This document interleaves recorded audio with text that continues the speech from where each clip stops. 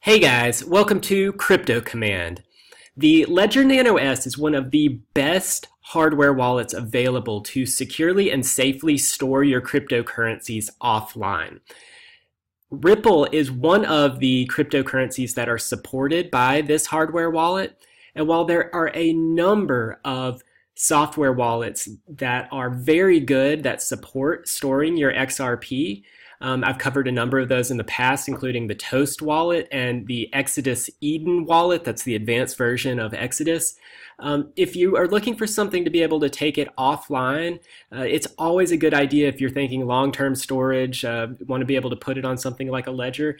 Um, so today I'm going to walk through how to get the Ripple wallet up and running on your Ledger Nano S.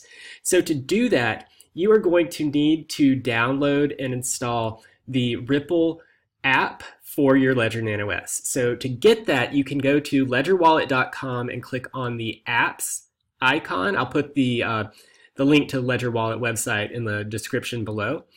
And when you go down to the apps page, if you scroll down, you will find that there are wallet apps and management apps.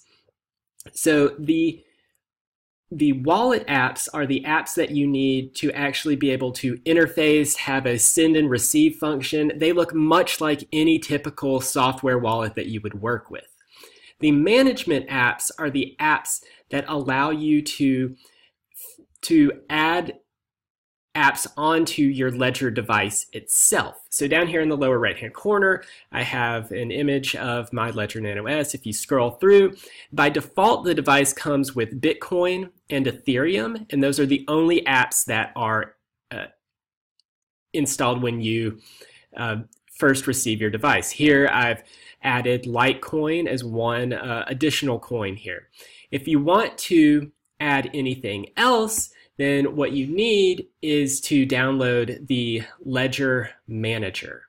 So you can click on Ledger Manager, and that will take you to a page where you can get the app. You can click download. It will take you to the bottom of the page. You can install this for Windows, Mac, and Linux. Click install. This will take you to the Chrome web store. So this is really, this app runs within Google Chrome. So it runs within your browser. Um, I currently already have this installed, but you could just click um, add this to Chrome. So this is what the uh, what it looks like when you run the Ledger Manager. So you can see that there are a number of cryptocurrencies that are available. So all of these are options that you can add to your Ledger Nano S. We are going to add Ripple. So I click on the arrow to download this and installing application. So when you do this, um, it will say, if asked, confirm on your device. So often you will see this pop up on your device that you will get a, a confirmation. Uh, so took a second, but now it's processing on here.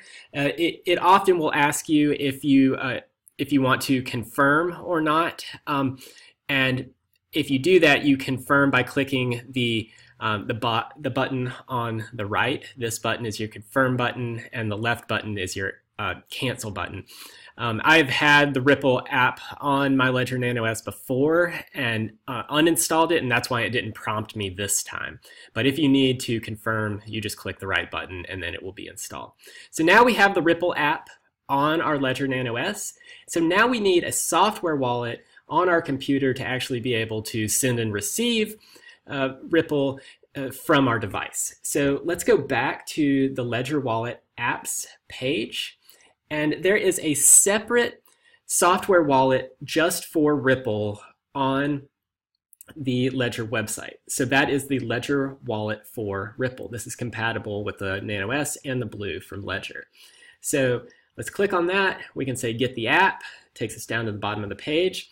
This is currently available for Mac OS. Um, that's what I'm running, so I'm going to click download and I can download the package.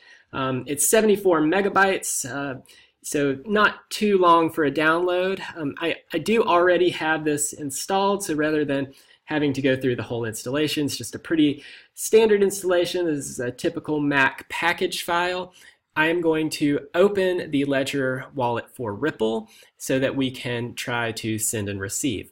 One thing that I have noticed in my experience with the Ledger is that if you have the Ledger Manager and one of these software wallets open at the same time, you will get a number of errors. It will say that it can't synchronize um, and it, things just don't seem to work properly. That goes for installing new apps on the device, um, being able to work with your software wallet, deleting apps from the device.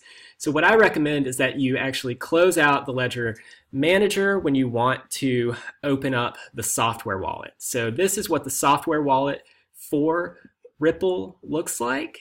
Um, so, it'll take just a second to synchronize, get up and running. So once this opens up, it will say to begin, connect and unlock your Ledger wallet, uh, and then open the Ripple app on your device. So my device is currently unlocked.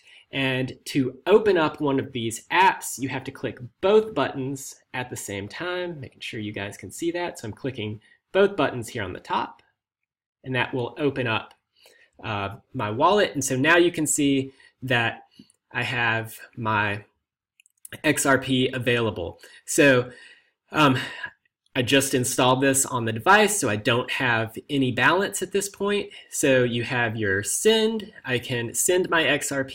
You have a receive button.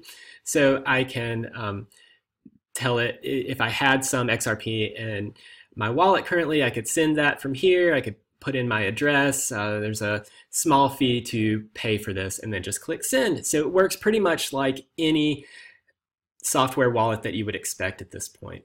So that's all it takes to get the Ledger Nano S up and running with Ripple.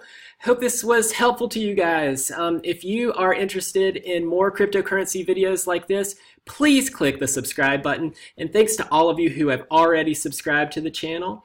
Um, if this video was helpful, please also give it a thumbs up. And until next time, thanks for watching Crypto Command.